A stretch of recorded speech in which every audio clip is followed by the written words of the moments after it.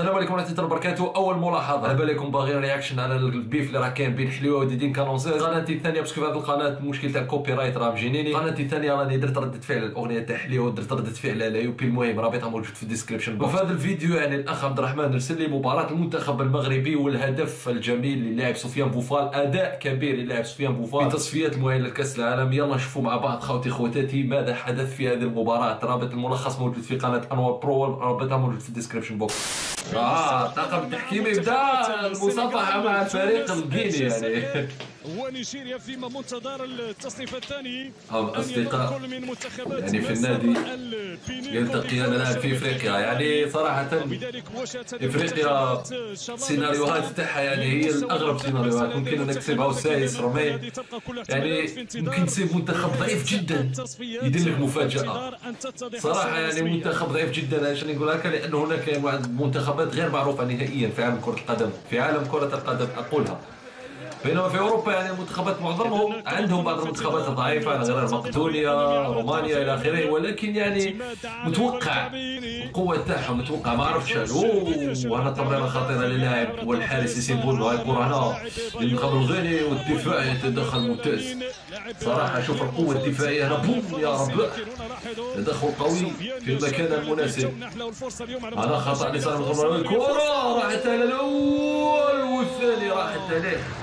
الثاني راحت عليه شوف الكرة كيفاش كانت. حاول يحطها له يعني في الزاوية.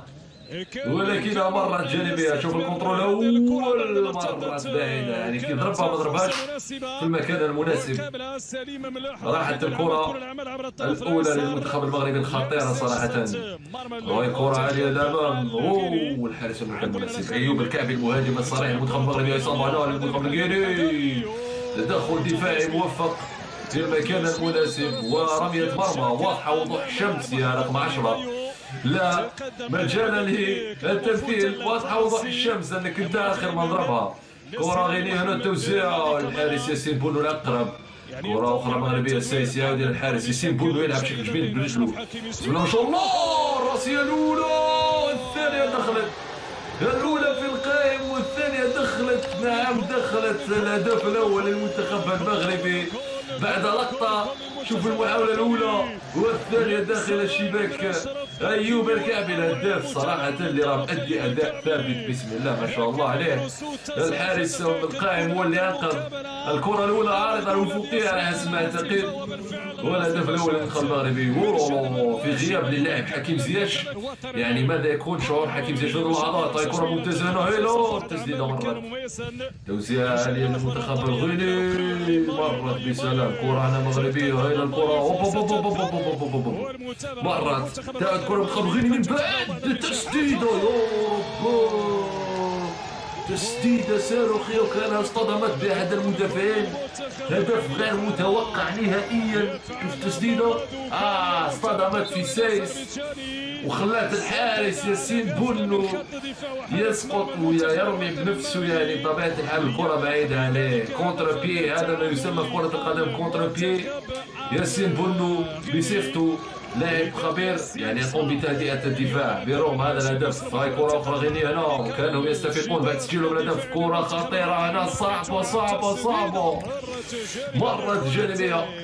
صراحة المنتخب الغيني وكان كسب ثقة بعد الهدف اللي سجلوا. وهذا شيء طبيعي وادي هاي كرة من الناحية اليسرى التوزيع ممتاز وسايس يكافح في وسط الدفاع. سايس يكافح يقاتل. صرخة سايس الآن. وكان يحاول يرجع اللاعبين إلى تركيزهم. هاي لا استفاقة من حكيم راسية توزيع الهدف الثاني شوف التمريرة كيفاش كانت بالرأس. هو الكرة حطها له على طبق من ذهب. وحطها في الشباك الهدف الثاني لا كرة كانت جميلة ولعبة تكتيكية رائعة.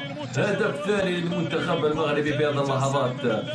2 1 الآن كرة جميلة جدا هنا هاي لعبة تكتيكية. 1 2 3 داخل الشباك. أو اللاعب اللي راه تأدي أداء كبير في هذه المباريات في هذا السيليكسيون. توزيع هنا وتعود المنتخب الغيني. صراحة بشكل خطورة كبيرة المنتخب الغيني في هذه اللحظات. وكانوا يستفاق هاي التوزيع عالية هنا والحارس ياسين بونو في المكان المناسب. ياسين مغطي كنت أعتقد بأنه خرج. والخروج تاع حارس المرمى كما خافوا لما تكون كرة عالية بزاف. احتمال الخطأ ونسبة الخطا تكون كبيره وعاليه بزاف وهي كره مغربية. تسديده مرت. مرت عاليه على المرمى بوم يا رباه مرت الكرة هنا المنتخب المغربي يحاول بكل ما أوتي من قوة الآن. استغلال هذه اللحظات. لحظات عودة المنتخب الغينينو المنتخب الغينينو تدخل قوي دفاعي من سايس. هل في ضربة جزاء لا؟ لا. الحكم يقول ما فيش ضربة جزاء. ماذا يقول الحكم؟ تدخل ممتاز من هذا اللاعب سايس شوف بوم هاي الجرينتا الدفاعية. ممتاز حكيمي لا حكيمي سدد حكيمي. رب كيف مرت بعيدة؟ كيف مرت خارج الشباك اصطدمت بالمدافع على حسب اعتقد أشرف حكيمي. شوف الكرة كيفاش كانت هنا. بوم تسديدة قوية اصطدمت في الدفاع. تعود الكرة مخبغين هنا. والتسديدة رباه تسديداتهم خطيرة. هذا اللاعب نفسه اللي سجل صح. تسديداتهم خطيرة صراحة. المدرب الغيني طبيعه الحال يقوم بتشجيع اللاعبين. هاي التسديدة كيفاش كانت؟ يا رب. خطيرة وتخوف. كره هنا. منتخب الغيني والدفاع يتدخل. تعود الكره هنا. ممتازه الكره التسديد من بعيد. وياسين بونو في المكان المناسب. ياسين بونو في المكان المناسب. يقوم بالسيطرة على الكرة الصعبة. هنا اللاعب كمارا وتسديدات خطيره من الغيني صراحة تخوف. صراحة الكره إلى السايس! السايس! السايس! السايس! كاد يسجل هدف ثالث للمنتخب المغربي. ومرت بسلام.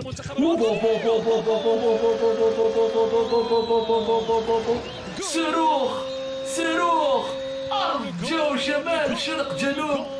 صاروخ نار يا رب شوف شوف بوم والله ما شفتش الكرة حتى سمعتها خبطت في القائم في العارضة. صاروخ يا رب يا رب يا رب لقطة تكتيكية والأروع يا رب. الحارس لا تلام على هذه الكرة نهائيا. أنت لا تلام نهائيا على هذه الكرة لأنك ما شفتش حتى ما شفت حتى الكرة أين هي التوزيع العالية مرة الكرة هنا اللاعب سفيان هذا مفلم من أوه تضييع فرصة خطيرة جدا. تضييع فرصة خطيرة جدا. هنا والكرة كان حارس في المكان المناسب. صراحة الكرة كانت جميلة. الكرة هنا غير وضعية تسلل. وضعية تسلل في هذا اللحظات هاي كرة هنا سفيان بوفال. والتسديد يا رب مرة سفيان بوفال لاعب اللي يدخل يدير فارق كبير جدا. كرة كانت جميلة ومرت جميلة صراحة اللاعب رقم 15 سجل هدفين هذا. يعني مسجل كما نقولوا doublé. يعني معنويات تكون مرتفعة بشكل كبير. هاي الغيني وضعية التسلل. مصيدات التسلل شغالة. هاي التوزيع ممتازة ويا رباه! يا رباه من اين لك هذا يا بوفال بلديك هذا في رجلك انت يا بوفال لاعب كبير سفيان بوفال والمقصية والعروع في الزاوية اللي كان جاي منها الحارس. ابقى في مكانك يا حارس المرمى.